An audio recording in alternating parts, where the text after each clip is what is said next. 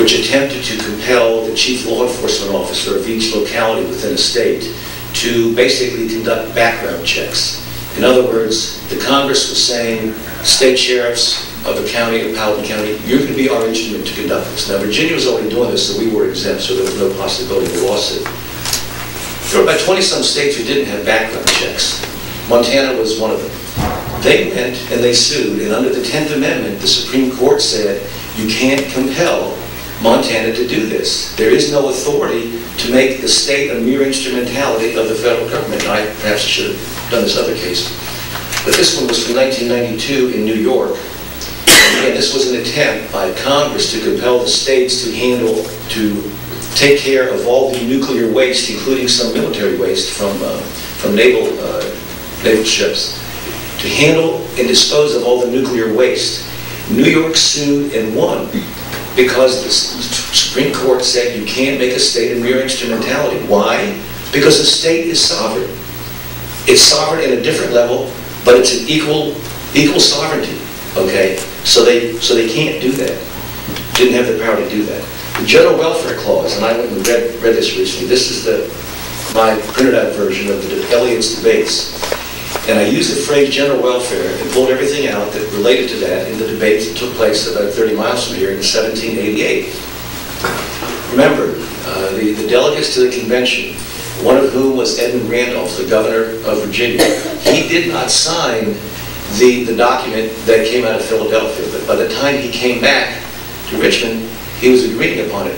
The main holdup, I believe, at the time was the General Welfare Clause. And George Mason made a big deal of the general welfare phrase in there.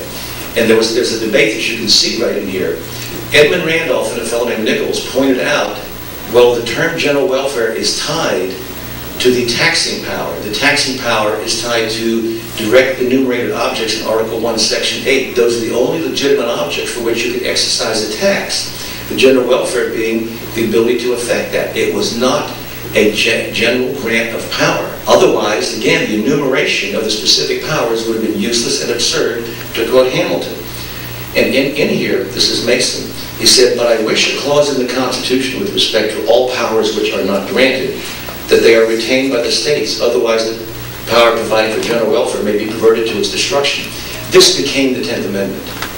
Okay, and there were several states which after the uh, ratification convention, I'm sorry, the uh, Federal Convention in, in, Philadelphia said during their ratification conventions, we need some additional amendments to this document. So even as intelligent and as patriotic and as experienced as the uh, participants in the Federal Convention were, they missed the Bill of Rights. How did they find out? They went back to the pe people's representatives, and these questions were brought up, and they acceded to that, all of them. The Supreme Court, everybody looks at that as the final arbiter. That was maybe not the original intent, but anyway, we're just dealing with that right now. But even the Supreme Court has never held that there's an unlimited grant of power given to Congress to use the Interstate Commerce Clause. There's only three, three places that, you can find this power the Supremacy Clause, interstate commerce, or the general welfare, the double the general welfare. This, and again, I want you to doubt me, this is requiring individuals to obtain uh, health insurance, constitutional analysis, July 24th, 2009. This is from the Congressional Research Service. Now, these are the people who work for the members of Congress. They are their subordinates. They're hired and fired by them. They have no tenure at all. Okay? Despite the breadth of powers that have been exercised under the Commerce Clause, it is unclear whether that clause would provide a solid constitutional foundation for legislation containing a requirement to have health insurance. Whether such a requirement would be constitutional under the Commerce Clause is perhaps the most challenging question posed by such a proposal, as it is a novel issue. What does the word novel mean? New.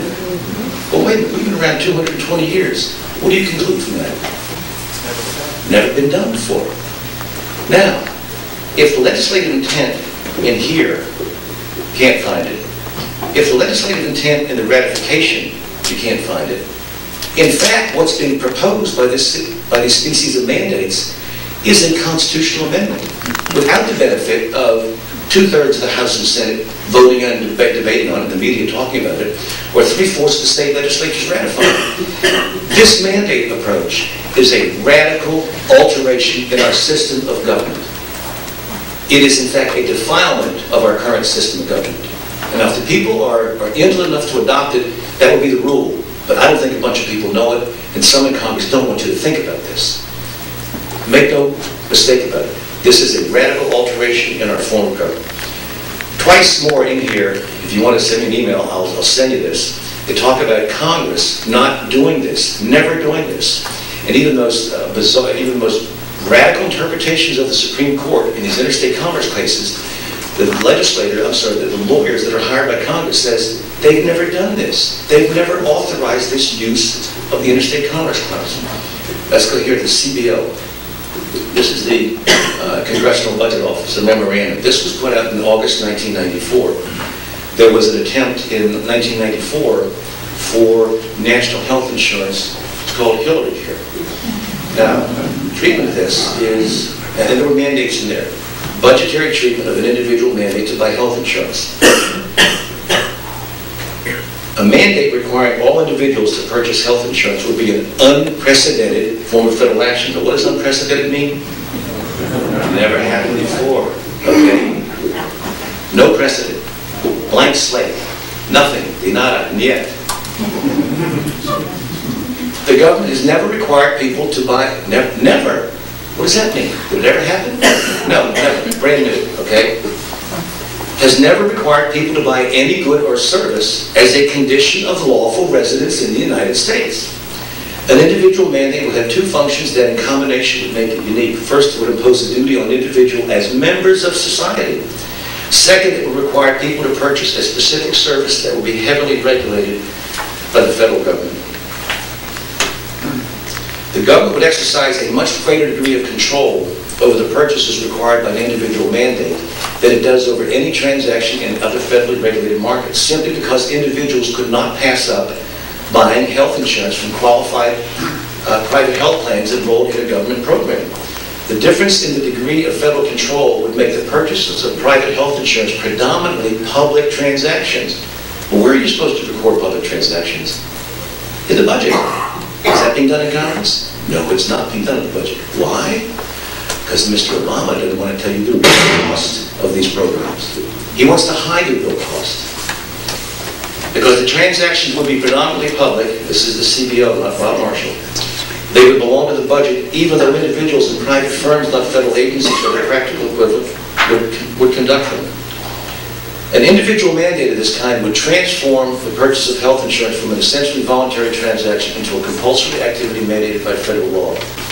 Failure to record the cost of this compulsory activity in the budget would open the door to a mandate-issuing government taking control of any resource allocation that would otherwise be left to the private sector. You want to buy a car? Any resource, you think you're covered? Yes, you are. Congress may tell you, you're going to buy a car every three years because we don't want these old cars in the road which are polluting the highways in these non-attainment areas doing this. This is a direct mandate on you to perform some kind of action. Okay, in the extreme, a command economy in which the President and Congress dictated how much individual and family spent on all goods and services could be instituted without any change in total federal receipts or outlays. Folks, do you have an insulation R value of R13 in your house? Not good enough, folks. We need to save the trees, okay? You're going to have R19. If you have to tear down the walls, tough. It's good for the economy. It'll make jobs. Don't we want to have jobs? You can see the endless degree of rationalizations that would go on here. Remember what Benjamin Franklin said. Man is a rational animal. Can find a reason to do anything. Doesn't have to be connected to it. Doesn't have to be reasonable. Doesn't have to be right. But you can find a reason to do anything with this kind of thinking. The Supreme Court has never held that the absence of an activity constituted a form of economic activity sufficient to kick in the Interstate Commerce Clause, to substantially affect it. To reason